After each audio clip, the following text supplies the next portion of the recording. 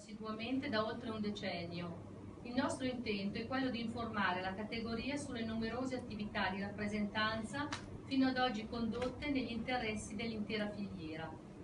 Innanzitutto mi preme evidenziare che la crisi del comparto costruzioni, che ha pesanti ricadute anche sulle nostre attività, impone una maggiore unità del comparto. Solo ed unicamente attraverso il rispetto, la collaborazione reciproca e trasparente si possono conquistare dei traguardi. Ognuno di noi ha almeno tre obiettivi comuni, che sono la tutela delle nostre attività, ridurre la concorrenza sleale interna ed esterna, ampliare il nostro mercato. Ce ne sono molti altri, ma servono solo come esempio per raccontare che se uniamo le forze nel rispetto etico del nostro lavoro, possiamo anche avere maggiore voce in capitolo in ambiti istituzionali e legislativi. Una unità che deve partire dal nostro territorio provinciale, ma che si estende alla rappresentanza sia a livello regionale che nazionale. In questo senso, in questo ultimo anno, abbiamo continuato a collaborare a livello regionale con Confartigianato Piemonte, unitamente all'Unione Cavatori di Bagnolo e al Consorzio di Luserna, RORA, partecipando ai tavoli di confronto sia con le altre rappresentanze delle imprese, in particolar modo con Confindustria, sia con i diversi settori della Regione Piemonte. Colgo l'occasione per anticiparvi che il 5 luglio a Torino ci sarà assemblea regionale per la costituzione del nuovo gruppo regionale CAVE ed attività estrattive, con l'elezione del rispettivo presidente che parteciperà all'assemblea nazionale se si riusciranno a costituire almeno altre cinque federazioni regionali. Il presidente verrà eletto anche in base al numero di attività rappresentate. A livello nazionale è continuato il confronto con gli altri bacini estrattivi, con particolare riferimento al Bresciano e Carrara, ma siamo stati presenti anche al primo tavolo nazionale promosso da Carrara Fiere Verona lo scorso anno durante la fiera di settore, a cui hanno partecipato i rappresentanti di quasi tutti i bacini italiani e le rappresentanze nazionali di Confindustria e Confartigianato del settore lapideo. Ci tengo a sottolineare quanto sia di fondamentale importanza il confronto con le presenti che hanno voluto essere qui con noi. Eh, è un vero piacere portarvi saluti di Confartigianato di Presa del Piemonte Orientale a questa, questa importante riunione perché voluta, eh, patrocinata proprio da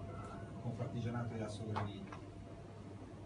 Importante riunione perché questa sera sicuramente ha in programma lo sviluppo delle più importanti azioni che cercheremo di mettere in campo per il vostro, per il vostro settore. Un incontro che spero, sono certo che possa dare fiducia, quantomeno una forza nuova a questo settore che sicuramente in questo momento sta attraversando un bel periodo, un settore dove le vostre, le vostre aziende stanno chiudendo, molte hanno chiuso, per i, i costi di gestione ormai improponibili, magari anche normative che non sono certamente a vostro favore. Ma sono convinto che l'ascolto, la, la reciproca comprensione, la disponibilità, l'incontro sul terreno del, proprio del fare, del, del sostegno alle imprese e al mondo del, del, lavoro, del mondo del lavoro considerando di superare queste difficoltà, quantomeno possa consentire alle nostre comunità, ai nostri territori di, di svilupparsi, certamente non, di progredire, certamente non morire. Ricordavo anche nel mio recente intervento all'Assemblea di Baveno che c'è stato questo sabato. Vogliamo ambienti in cui vivere e intraprendere, creare comunità e proprio perché questa sera siamo qui, perché siamo qui con le, con le nostre imprese, con il nostro impegno, con il nostro lavoro, anche fare comunità. Un tema che sicuramente voi qui in Ossola avete caro. Ciò vi ringrazio ancora per la vostra presenza, ringrazio la nostra la Presidente di, di Assograniti, anche il nostro dirigente di Confartigianato, veramente per l'impegno e la passione che mette nella, nella, nella difesa del nostro settore. Grazie, grazie. Ora passiamo la parola al vicepresidente, signor Dall'Ovista. Io ringrazio tutti, in particolare le autorità politici rappresentano e poi sono qui per parlare più che altro da cavatore e con i cavatori. Ai cavatori bisognerebbe capire perché molti rinunciano alla sua presenza, almeno alla presenza. Poi ci sarebbe da capire a livello politico se si si accorge che eravamo 106 anni e non siamo 30, lo sappiamo che siamo meno. Se i politici aspettano che ne no- dobbiamo chiudere ancora degli altri oppure bastano questi e perché si chiude? Credo che non è solo il mercato. Perché si chiude? Noi sappiamo che la maggior parte delle, delle- dei giacimenti eh, sono comunali pertanto pubblici. Questi giacimenti pubblici che quando vanno all'asta vanno quasi per milioni di euro poi per lì. Se c'è a livello politico la volontà che questi giacimenti si può dialogare con i fatti che corrono oggi. Oggi quello che una volta era 10 non è più 5 ma è 3 e 2 allora per dialogare a questo livello la consapevolezza che il settore ha una molteplicità di problemi che segna anche per dare un po' il senso di un lavoro che si sta cercando di fare, anche riconoscere come adagio adagio gli interventi che stanno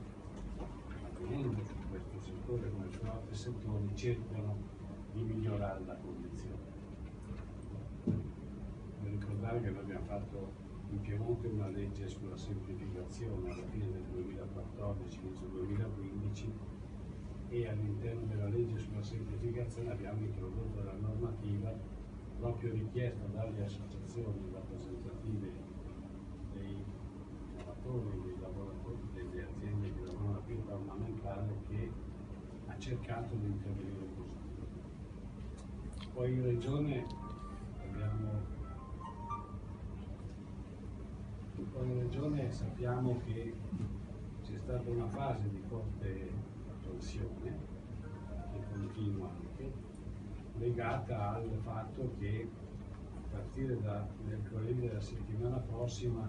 partirà la discussione in Consiglio regionale sulla nuova proposta di legge che cerca di regolamentare il settore della escavazione e della lavorazione delle pietre ornamentali. Ora proprio su questo tema vorrei dire che come giunta regionale cercando di cogliere le esigenze che le organizzazioni rappresentative di organizzazioni hanno posto.